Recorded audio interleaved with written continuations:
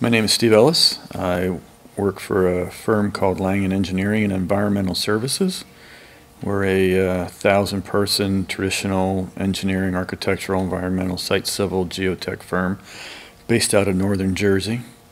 Uh, we have seven international offices and about 25 offices in the United States.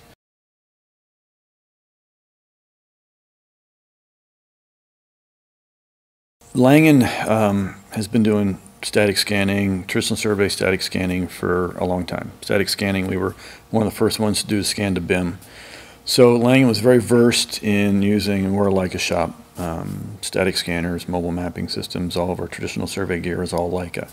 So we were familiar with Leica Cyclone and Revit modeling and, and using point cloud data.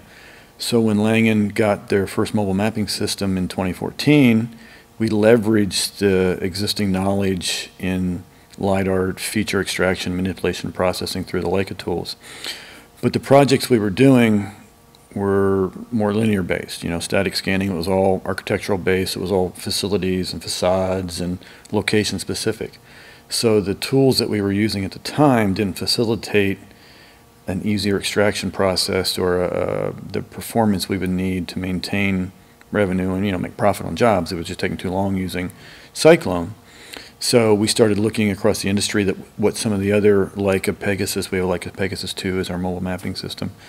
So we started reaching out to the Leica community on what was the mainstream tool for feature extraction of the point cloud data for their, their clients and they kind of gave us a couple there was a couple different uh, tools that were being used but like or but uh, Topodot from Certainty 3D was was the, kind of the primary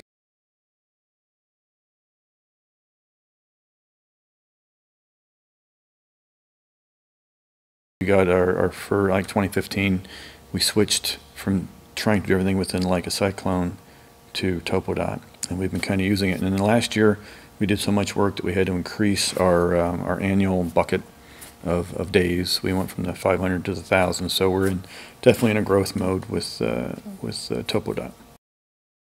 But it really came from a necessity for more of a semi-automated using the tools and the templates that, that it provides and some of the features it provides to be able to extract greater sizes and lengths and, and types of data over a more of a static based um, thing.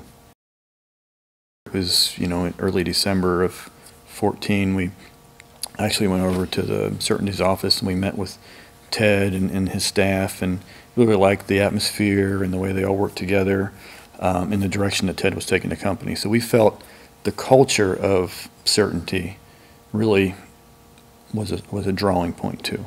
Um, but the, the tools are very stable um, and had been, you know, developed with the same processes and the same end results that we were looking for.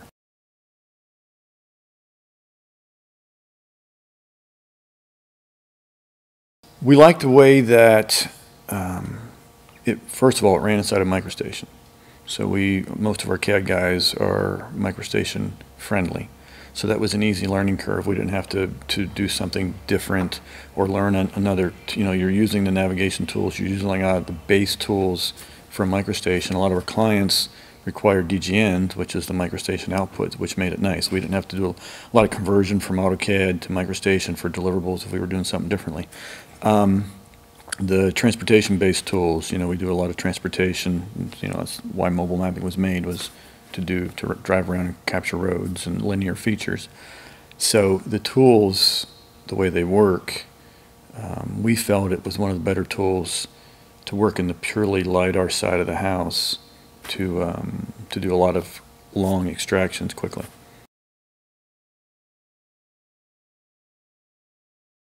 Well, it improves the business because we can we can extract and, and get through larger data sets faster, which means we need less man hours, and which means we make more profit, right? Because it doesn't take us as much effort to do the same amount of work as it might in another in another package. Know, it's, you know, it's the bottom line if you're in business is revenue and profit.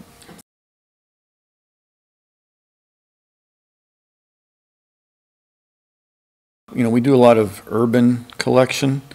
Um, New York City, you know, a lot of urban around where our office base is for an engineering, you know, and we're purely civil, so all of our collection is all survey grade. We use survey control with the mobile mapping system, multiple passes, so we've got huge data sets. Um, and one of the best ways that we've found that TopoDot is helping us now is in the Connect version because it, the 64-bit version that runs on MicroStation Connect, because we can just throw more RAM in the box. And it's a direct correlation between the amount of RAM you have is the amount of points that you can load into TopoDot. So with the 32-bit version in the Select series, you were limited on how much data you could load.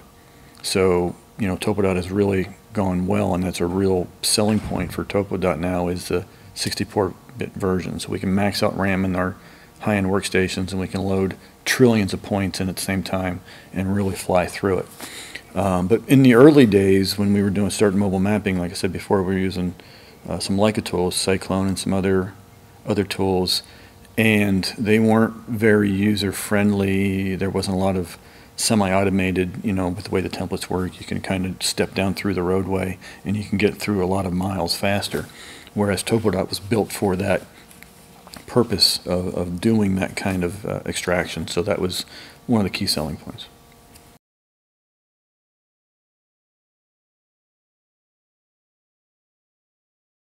Software firms or software companies don't listen to the client base and, and be as dynamic and as uh, quick to move and help their client base.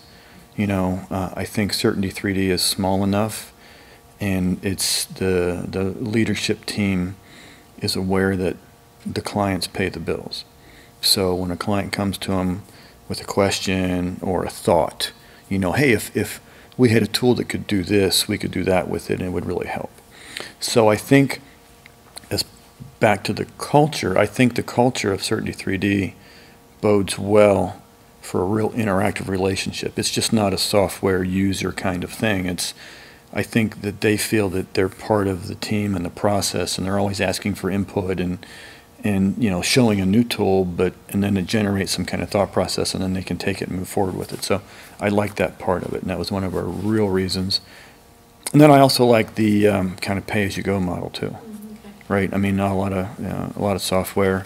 You pay a flat fee per year whether you use it five days a month or 50 days a month. But i like to pay as you go you know almost software as a service kind of situation. But um, you know you pay if you if, if you use it all the time you pay more. If you don't use it all the time you you can get away with a cheaper price. So it doesn't cost you something to have it sitting on the shelf and not use it.